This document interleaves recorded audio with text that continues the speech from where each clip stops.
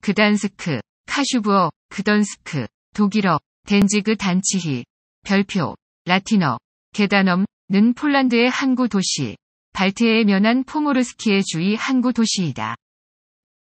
그디니아, 소포트와 합체하여 활기를 띠고 있다.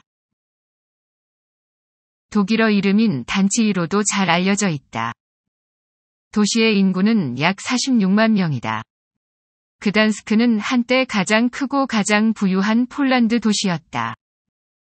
따라서 자체 정부, 예산, 군대 및 정치적 지위를 가졌다. 구시가는 한자 동맹의 일부로 발트해에서 거래한 상인들에 의해 형성되었다. 건축은 암스테르담의 건축과 매우 유사하다. 1차 세계대전 후 그단스크는 자유도시 국가가 되었다.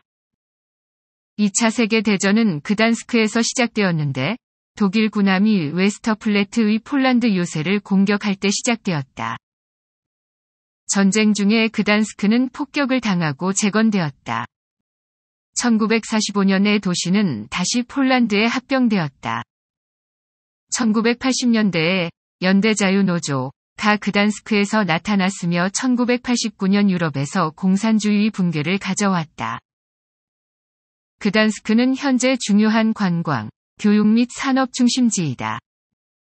소포트 및 그디니아와 함께 트리시티라는 하나의 대도시를 형성한다.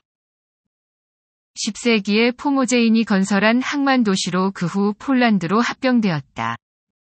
이후 독일인과 네덜란드인이 유입되었다. 폴란드 분할 이후 프로이센 왕국의 영토가 되었으며 1919년까지는 독일 제국의 서프로이센에 속하여 그 주도였다. 이 부분의 본문은 단치의 자유시입니다. 국제연맹에 의해 1920년 창설된 자유시, 베르사유 조약에 의해 단치의 자유시가 되었다. 본래 독일 제국 서프로이센의 주도였으나 베르사유 조약에 의해 독일령에서 떨어져 나갔다. 독자적인 화폐 및 국기를 가지고 있었다. 1933년부터는 자유시의 의회를 민족사회주의 독일 노동자당이 장악하였으며 1939년 9월 1일 폴란드 침공이 일어나자마자 단치히 의회는 나치 독일의 합병을 선언하였다.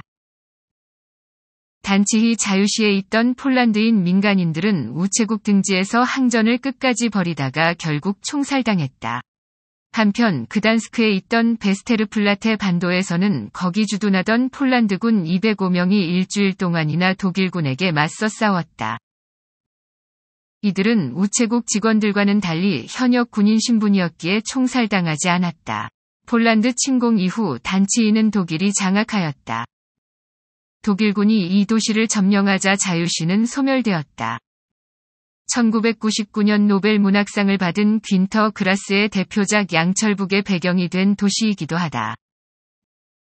그러나 제2차 세계대전 말기 소련군과의 뒤이은 전투 끝에 1945년 들어 시가지와 항만시설이 모두 파괴되었다. 소련군은 이 도시를 점령하였고, 종전 후 단치인은 폴란드령으로 귀속되어 종래의 독일인 주민은 모두 추방되어 현재에 이른다. 파괴된 시가지, 항만시설, 공장 등은 전후 복구되었다. 최근에는 무역항이라기보다는 바다와 인접하지 못한 중앙 유럽 국가들의 수출 임무노 역할을 하고 있다. 제2차 세계대전 이후에 폴란드령이 되어 오늘에 이른다. 남아있던 독일인 주민들은 추방되었다. 1980년대에 레흐 바웬사는 이곳에 있는 조선소를 중심으로 자유노조 운동을 일으켰다. 그래서 결국 공산 정권은 폴란드 원탁 회의를 통해 자유노조에게 굴복하였고 폴란드는 민주화되었다. 하지만 최근에 그단스크 조선소는 대한민국, 중화인민공화국, 일본과의 치열한 조선업 경쟁을 이기지 못하고 현재 파산 위기에 놓여 있다. 시청해주셔서 감사합니다.